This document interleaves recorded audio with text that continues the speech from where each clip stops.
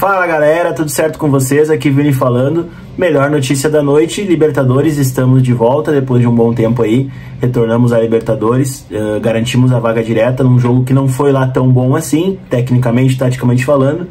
Mas nesse momento mais importante é a vitória. E, e o Inter mostrou alguma força, né? Mostrou para virar o jogo. Não tinha virado o jogo ainda em Campeonato Brasileiro, nesse Campeonato Brasileiro. Mostramos forças aí para virar o jogo. Foi um jogo meio acidentado, já vamos falar sobre ele. Mas antes, vai lá, te inscreve no canal, ativa o sininho, deixa o teu like lá que é importante para nós.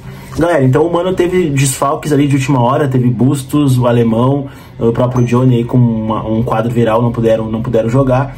E o Mano teve que, que às pressas ali remodelar o time para encarar o Ceará.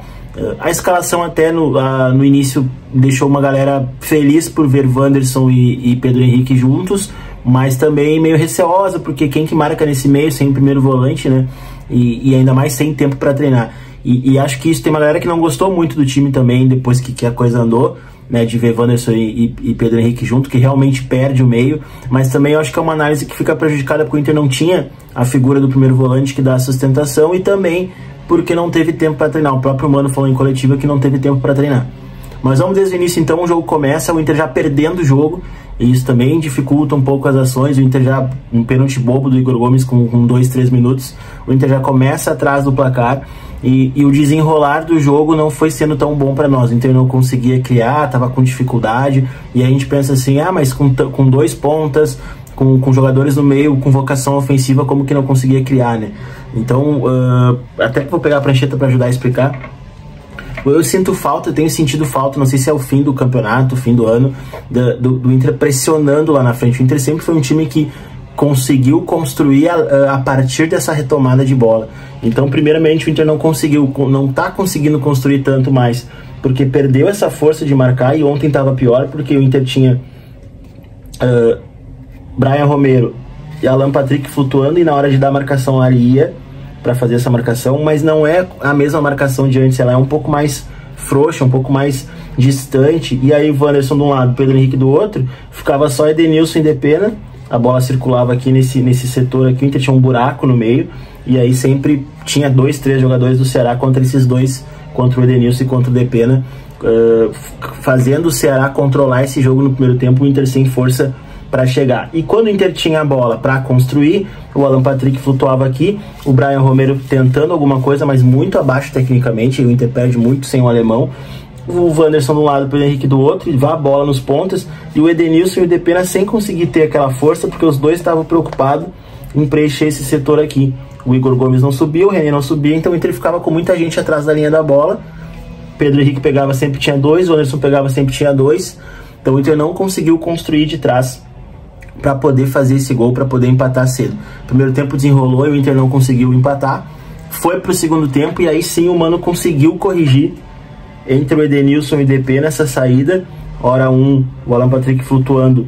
Quando, um, quando o DP baixava, o Alan Patrick flutuava para a esquerda, o Edenilson se, se soltava. Quando o Edenilson baixava, o Alan Patrick flutuava para a direita e o Depena se soltava. Aí sim o Inter mais organizado, soltou mais o René, colocou o Everton, soltou mais o Everton, e aí sim o Inter começou a ter um abafa melhor no campo ofensivo. Nada muito também assim, uma melhora tão grande assim, mas pelo menos a postura e a dinâmica melhoraram um pouquinho e fez com que o Inter pressionasse mais. Não conseguiu construir tanto assim com jogada combinada, mas só o fato de estar tá mais no campo ofensivo, de melhorar essa marcação na saída de bola, o Inter começou a, a, a ter mais a bola no campo ofensivo e começou a construir um pouquinho melhor. É óbvio que ainda faltava jogada combinada, faltava uh, combinação de jogada, faltou algumas, alguns detalhezinhos ali para ser mais técnico, digamos assim. Mas, mas o time conseguiu, na base do Abafa, uh, o primeiro gol lá com, com o Depena fazendo a jogada de fundo, Edenilson pisando na área para finalizar. Até fiz um trabalho sobre isso, sobre os meias pisando na área. Né, conseguiu empatar o jogo e depois no, no, no lance ali do Moledo conseguiu um pênalti para nós achar um pênalti que achar não foi pênalti que o Alan Patrick cobrou e nos colocou na Libertadores. Uh, fica, acho que, né, para título, a gente já vem falando há um tempo que não tem mais como, mas importante a vitória, importante ganhar confiança, importante que a gente consiga aí manter uh, essa última reta de campeonato, aí, esses, esses jogos que faltam, a gente ir uh, ganhando em casa, tentando bliscar uns três pontos fora para manter o segundo lugar e para ganhar essa premiação boa aí, que vai ser importante também na montagem do time, na montagem não, no, em trazer peças que vão agregar, porque o Inter fica com a base boa, mas precisa de algumas peças. A gente viu que sem o alemão o time cai muito, né? Tem que ter uma reserva para o Bustos à altura, embora o Everton Menino tenha entrado bem, mas acho que, que ainda precisa mais. Uh, a hora que o René precisar de um reserva também, essas coisinhas, assim, esses detalhes. Precisamos de um primeiro volante, ficou claro ontem também. Então é essa, esses detalhes aí que o Inter vai ajeitando pro ano que vem. Certo, galera? Até a próxima. Um abraço.